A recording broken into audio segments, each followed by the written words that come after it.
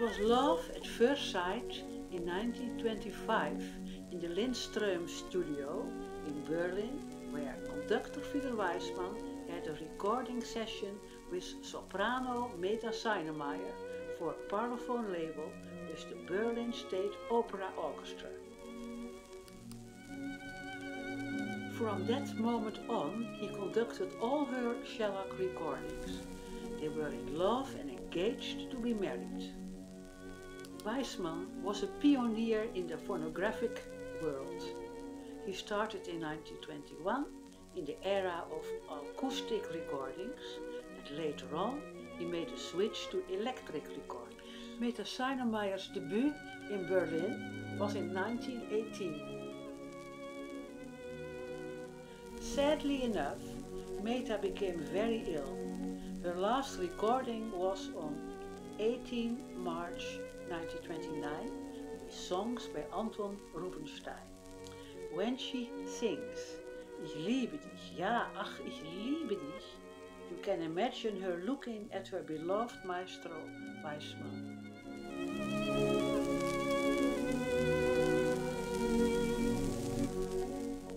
On her deathbed, she asked him to marry her, and so he did. She died as Meta Seinemeyer Weissmann on 19th of August 1929. This tragic death at 33 robbed the world of a great soprano.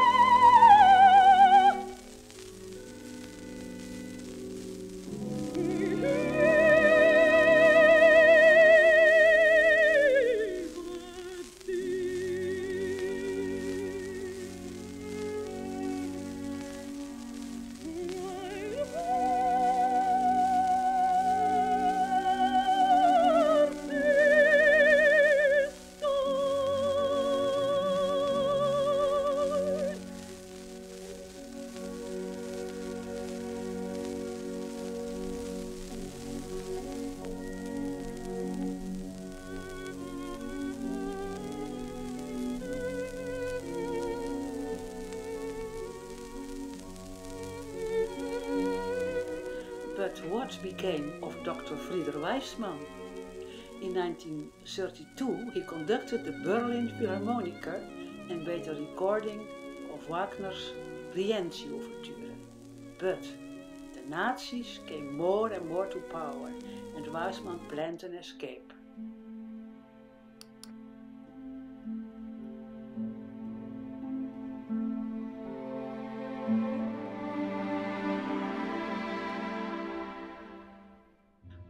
24 of June 1933, Weissmann fled to Amsterdam. On 29 of June, he conducted the Concertgebouw Orchestra and on 24 November again.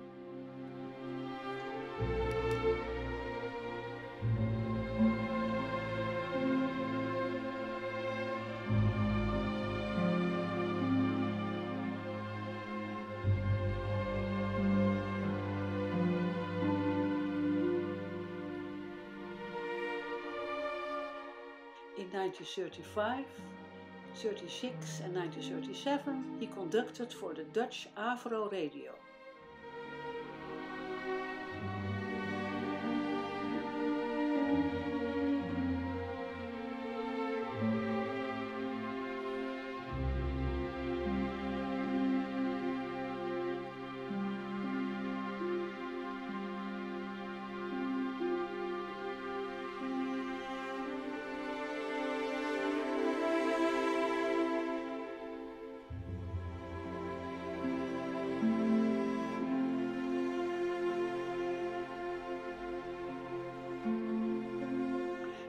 1937, in Buenos Aires, he married Rosita Chevalier Boutel until her death in 1980.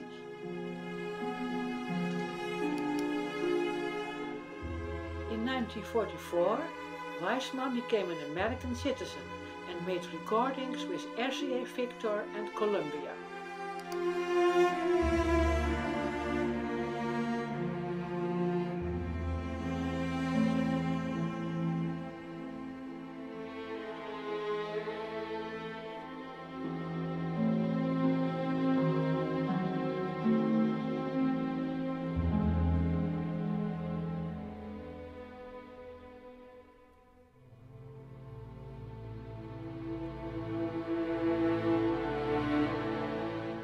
Weissmann conducted in Buenos Aires, New York, Havana, Canada, Scranton, New Jersey, Philadelphia, and in the later years in Italy, Rome, Napoli, Sicily, Catania, and Florence.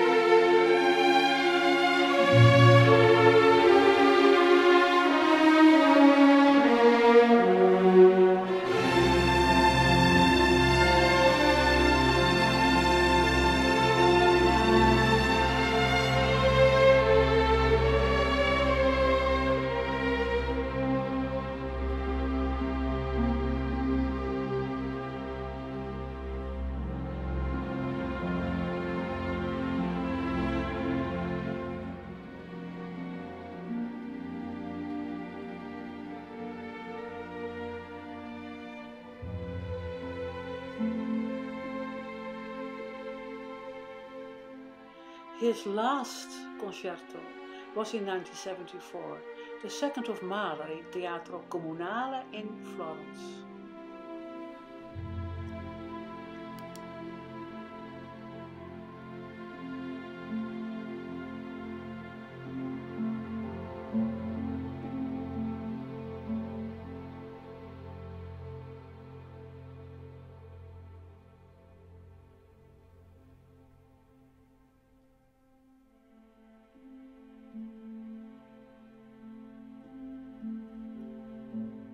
This charismatic maestro, Frieder Weissmann, spent his last years in Amsterdam, where he died on the 4th of January 1984, surrounded by his caring friends.